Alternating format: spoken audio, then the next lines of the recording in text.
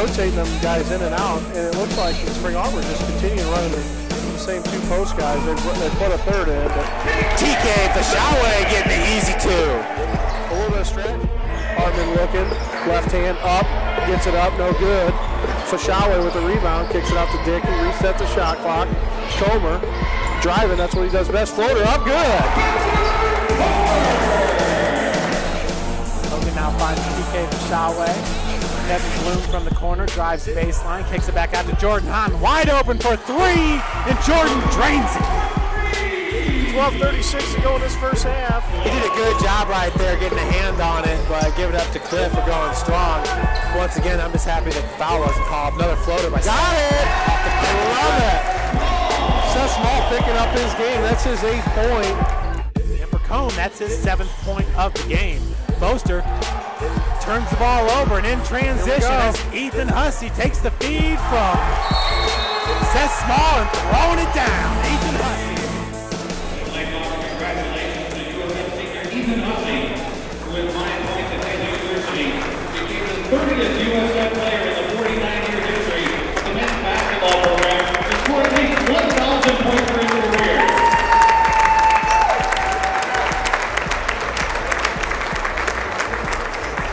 Hussey's fifth point in that game was his 1,000th point. Congratulations, Ethan Hussey.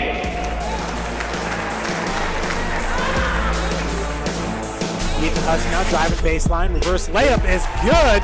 Ethan Hussey pulling the Cougars within two. Start second half. Jake Simpson back over to Mitchell from the wing. Off the side of the iron. Good hustle there by Cameron Mitchell. His save attempt went right to St. Francis. Ethan Hussey now from the wing. Back to back three pointers. Nice pass by Seth Small. Players like the NBA guys wear more equipment than the NFL guys do now. Cross court goes over to Ethan a little bit high. Ethan brings it down. off the glass. TJ Short's the second big Seth man Small, for bring Huntington. So 10, 10 seconds, seconds. left to play, and that's Seth Small battling against Ryan Here Baster. we go. Pass goes out to Kevin Bloom for three. Off the back of the iron. A, great opportunity here to step up. University of St. Francis would like to take time to senior guard Kevin Bloom with the 2013 NAIA. Leroy Walker Champions of for the Cross Country.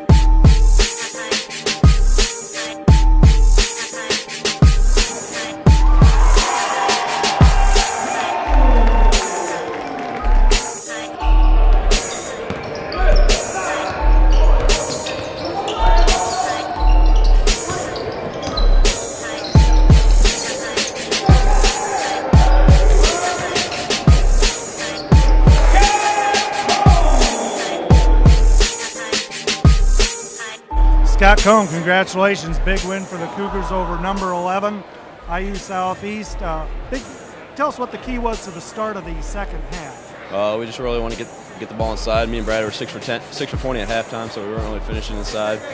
So uh, just focus on getting the ball inside in the second half, finishing strong, not worrying about them blocking shots, going up, finishing, we were kicking out threes, and uh, we did a great job of hitting threes in the second shot, second half. Looked like you guys, once we got that lead, built back up in the second half. We relaxed a little bit, and like you said, hit some big shots. Yeah, I mean they, they went on a little run there. We knew they were going to make a run. We we kind of got lackadaisical on offense, and uh, so we started attacking again, got that lead back up, and uh, we did a decent job of hitting free throws at the end, but we could have could have made a little bit more.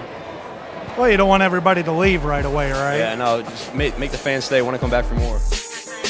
Come back in. Casey Coons running the point right now. Ooh, pickpocket by Josh Hogan. He needs a layup, but he's going to throw it down. Hogan, no doubter.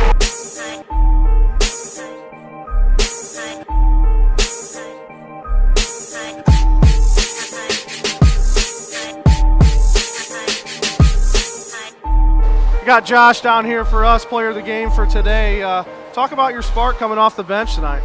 Uh, I put this all on my teammates. I take no credit at all. They they put me in the right positions, and I was able to knock down some shots, uh, play defense. We knew he had to come out with a sense of urgency in the second half. So You guys locked it down defensively, which was something that we've been seeing a lot of this year. Talk about your guys' defensive efforts so far this year.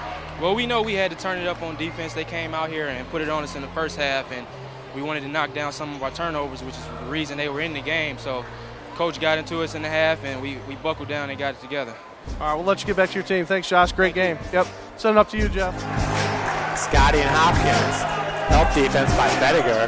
Nice quick pass by Seth Smalls. He was falling out of bounds and off the glass. No oh, good. tip in. Solvine. That one came from the hip. Kyle Solvine. Timeout goes across as he's going to get fired up. No question. Hey, big win, coach. Let's talk about it a little bit.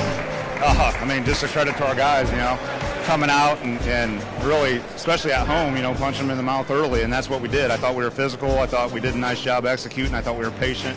And, uh, you know, big plays by our seniors, by Scott. You know, how about Spencer in the second half? I mean, what a lift, and, and just proud of the guys and happy for, you know, these guys to get this W. This is a huge win in my, in at least for me here at home. You're a senior. Obviously, last time you're going to get to play Wesleyan here.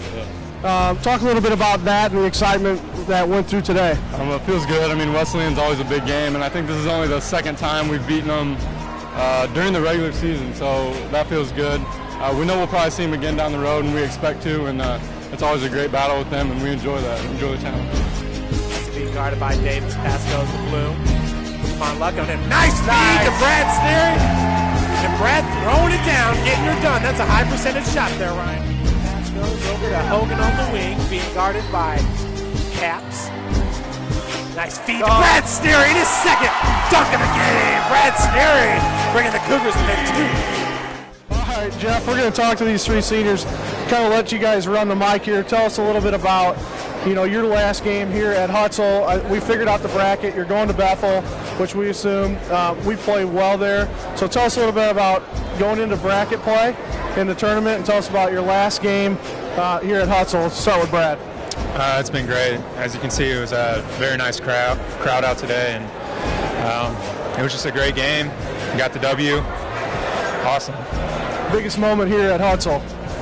Put you on the spot, I know. Uh, I'd say, man, so many good times. I like, I like that answer. I like that answer. Kevin, answer those questions. Do you remember them?